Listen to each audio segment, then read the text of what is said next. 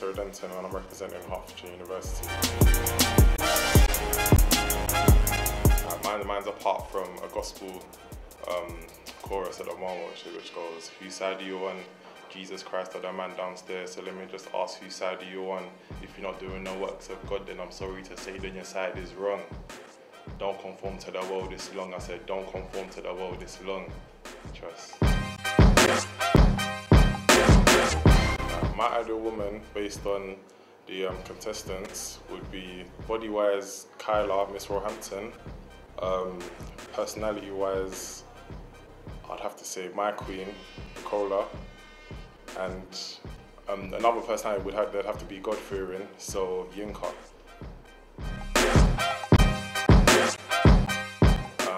My ACS queen would have to be Kyla because just the way she carries herself, she she looks like she's an independent woman. She looks like she runs a, runs businesses, man. So yeah, Kyla, Miss Roehampton. In